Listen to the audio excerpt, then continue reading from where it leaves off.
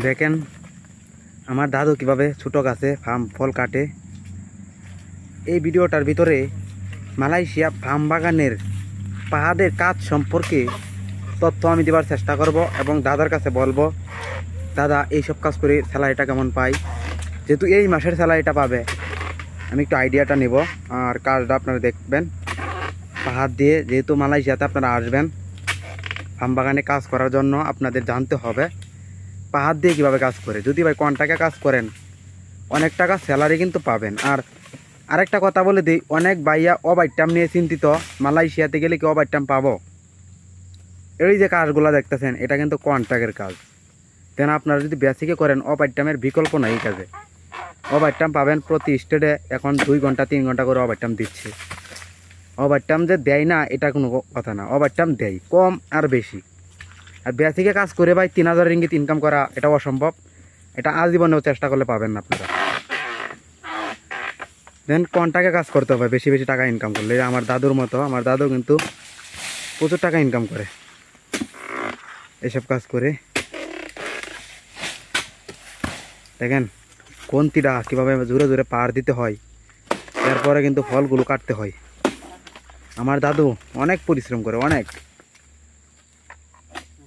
যারা বেসিকে কাজ করে, তাদের তো মোবাইল চার্জ একদম শেষ করে লই যা।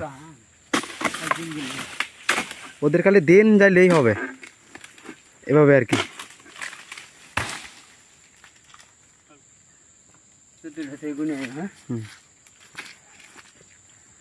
এই গাছটা আমাদের এখন কাটতেছে, আমার দাদু। এভাবে দাদা প্রতিনিয়ত ফল কাটে। প্রতিদিন দাদু কয়শো করে ফার্ম ফল কাটা হয়? পাঁচশো, ছয়শো। টার্গেট প্রতিদিন কয়শো করে থাকে আনুমানিক? এই মাসে আনুমানিক কত আসবে? একটু আইডিয়া দাও আমার দর্শক শুনুক।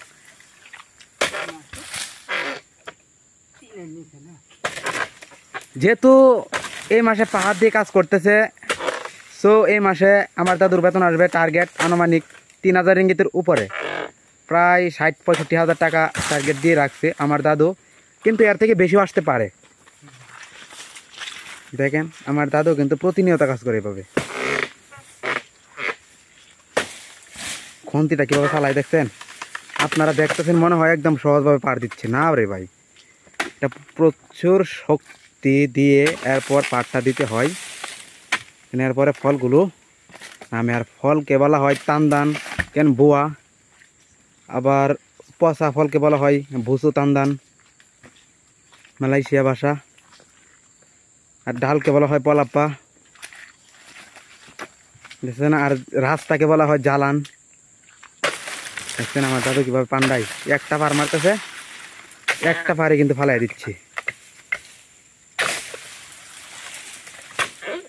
এভাবে কিন্তু কাটে। দেখেন শরীরটা কিন্তু ভিজা দাদুর। এভাবে আম বাগানে কাজ করা এটা বিশাল টাপ আম বাগানে সিনাজুক তো ধরেই হ্যাঁ? আছে আনুমানিক কতগুলা সিনাজুক ধরছে তোমাকে? স হবে অনুমানিক দাদা বলতেছে একশোর মতো হয়ে যাবে ইনশাল্লাহ। আজকে যেগুলা যুগ ধরছে, যুগ তো এটা ব্লকের উপর ডিপেন্ড করে। আপনার যদি বৃষ্টি পড়ে, তাহলে যুগটা বেশি ধরে। যেহেতু বাগান ভিজা থাকে আর চীনা যুগ ওই অতিরিক্ত থাকে। আর যদি রোদ থাকে, তাহলে চীনা যুগ কমই ধরে। এটাই আর কি? দেখতেছেন দুই পাশে কিন্তু কাটতেছে। এই পাশে আর ও পাশে মানে পাহাড়টা দেখে দেখে, যাতে ফলগুলো আর মাঝখানে রাস্তা, আমি একটু দেখাবো রাস্তাটা আপনাদেরকে।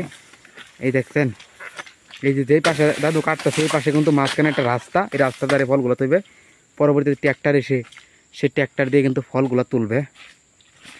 আর কোম্পানিতে যদি বেশি ফল যায়, তাহলে প্রবাসীদেরকে বেশি টাকা দেয়। অনেক পরিশ্রমের কাজ তো একটা না করতে হয়। দেখেন কীভাবে অনেক সার দিতে হয়।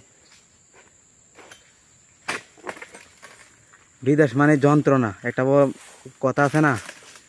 প্রবাস মানে জেলখানা। বাংলাদেশে যদি ভাই এরকম পরিশ্রম করতো, তাহলে ভাই টাকা আর টাকা। তেন আমরা বাংলাদেশে পরিশ্রম করি না, কিন্তু আমরা প্রবাসে পরিশ্রম করি।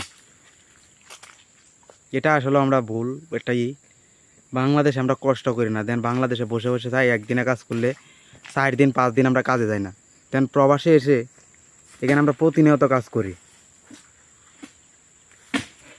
এটাই হলো আমাদের স্বভাব। আমরা প্রবাসে আসি, অনেক অনেক টাকা খরচা করে।